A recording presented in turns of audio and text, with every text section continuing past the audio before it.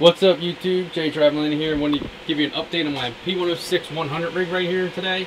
Uh, if you guys watched the previous videos, you'll have seen that I was having an issue with, I believe, our graphic card right here, which was GPU 3 in the software. Uh, it kept giving me a bunch of errors, and I'll show you some on the computer in a minute. Uh, but I ended up taking the PCI wires here that go to the riser. I actually just, this one here that goes to it, I unplugged this one right here and I just plugged it back in and then I took the riser off that's on the bottom there and I just reseated it and then in the software I actually upped my overclock setting to give it just a couple more watts of power and it seems to be that it's been working pretty well for the past like week or so. Now my other rigs like my P10690 down here and my P104 over here have just been running great. Uh, but now that this one hasn't been giving me any issues for the past about week I'd say now. I mean the whole system's just been running phenomenal and the whole the whole little mining farm has been running great. Very low maintenance now. Kind of just running it, letting it do its thing. And I just check up on you know, the rigs every day. A couple times a day, I'll just log into the Hive OS app on my phone and make sure they're all still mining, make sure there's no error codes being thrown. Um, but the past week or so, I haven't had any issues with any of my rigs down here. Uh, we have, you know, the two mining Ethereum here and here, and then we have the P10690 rig mining Ravencoin. I am with my Ravencoin, I'm having an issue with the wallet that it's not loading up the actual Ravencoin, so they contact the company to get that resolved. Uh, but this one, this has been running great. We'll go inside the computer now. I'll show you the, the rig and I'll show you what errors it was throwing.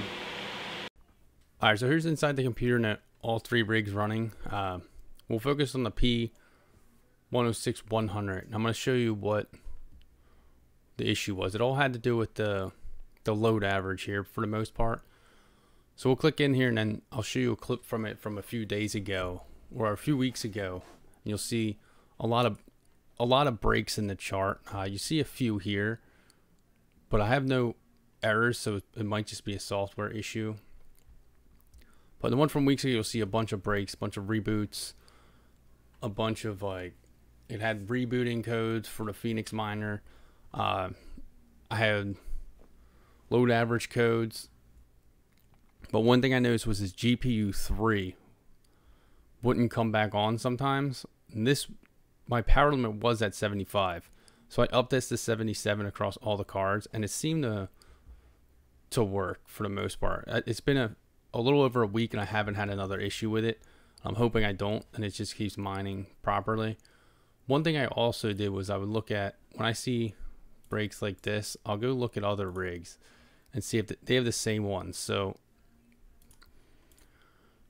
if all three have pretty similar, I'm going to chalk it up to probably a software issue wasn't reporting back or even a slight power loss to my house possibly.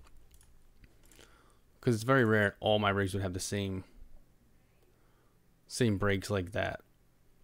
But if you are having this issue and you're getting a load average um, error code, I suggest trying to up your power limit a little bit see if that helps. Maybe reseat some of your risers.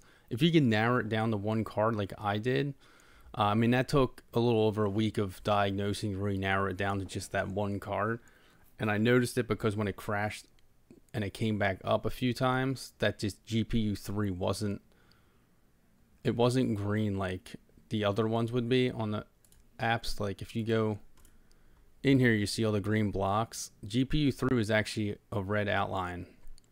So I knew that card wasn't working properly. I was actually going to replace the act the whole riser, but I ended up not.